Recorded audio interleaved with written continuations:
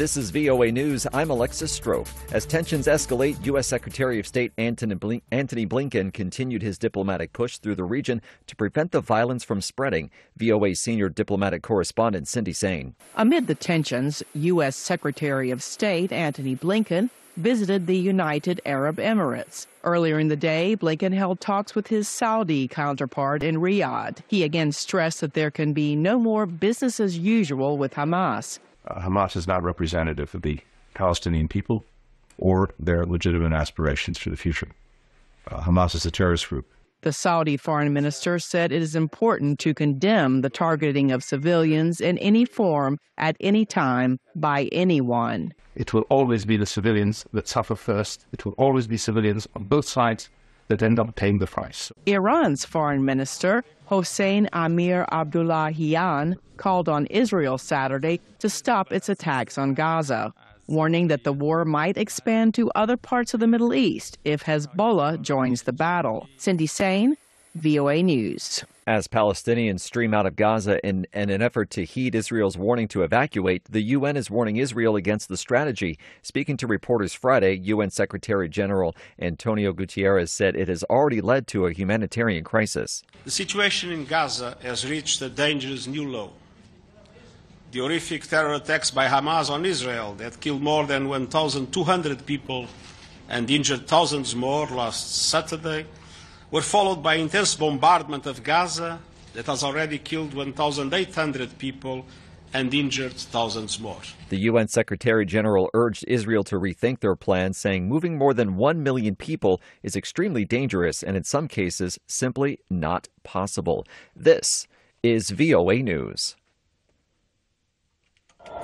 People took shelter in Tel Aviv on Saturday as rocket raid sirens sounded across the coastal city. The Israeli military confirmed that rocket sirens have been sounded in Tel Aviv and surrounding cities as of Saturday night. Some 1,300 people were killed in a brutal onslaught that left Israel in profound shock. In response, Israel has subjected Gaza to the most intense bombardment it has ever seen. Gaza authorities say more than 2,200 people have been killed and nearly 10,000 wounded. Republicans in the U.S. House of Representatives nominated conservative Representative Jim Jordan for Speaker of the U.S. House of Representatives. As VOA's congressional correspondent Katherine Gibson reports the U.S. House of Representatives at a standstill, unable to pass any legislation sending aid to Israel or Ukraine until lawmakers hold a full floor vote next week to decide if conservative Republican Jim Jordan will become Speaker. Jordan, a nine term congressman known for his investigations into the Biden administration, won the Republican conference vote 124 to 81 in a secret ballot. He now has several days to build support to get to the 217 votes he needs to be elected. Democratic Minority Leader Hakeem Jeffries is expected to win the support of all 212 Democrats when the decision goes to a full House floor vote. Katherine Gibson, VOA News. A new poll by the Associated Press NORC Center for Public Affairs Research shows that Hunter Biden investigations are leading to ethical concerns about President Biden. AP correspondent Mike Hempen reports. As President Biden seeks re-election amid investigations into his son Hunter and an impeachment inquiry, the poll shows 35% of U.S. adults think the president has done something illegal. The survey shows a third of respondents think Biden acted unethically but not illegally legally, and 30% say the president has done nothing wrong. The results reflect a political divide in the U.S. and skepticism about the morality of government leaders. About two thirds of Republicans say they think Biden is guilty of crimes pertaining to his son, but only 8% of Democrats and 38% of independents agree. Mike Hempen, Washington. President Joe Biden has spoken with Palestinian President Mohammed Abbas and Israeli Prime Minister Benjamin Netanyahu, urging the leaders to allow humanitarian aid to the region and affirmed his support for efforts to protect civilians. The weekend calls came as U.S. Secretary of State Antony Blinken intensified diplomatic outreach across the Middle East and beyond to rally an international response to prevent the Israel Hamas war from expanding. For additional stories 24 hours a day, visit our website, VOA News I'm Alexis Strope, VOA News.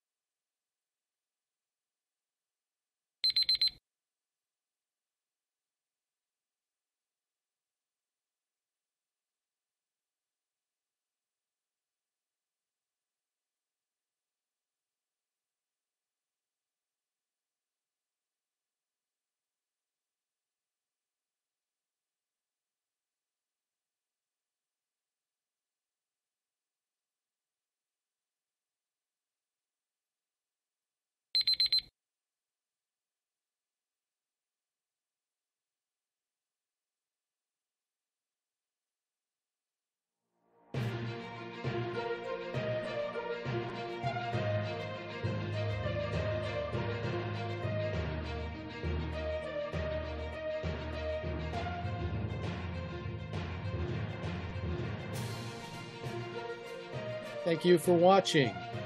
Can you do me a favor? Please leave a comment in the comments section below.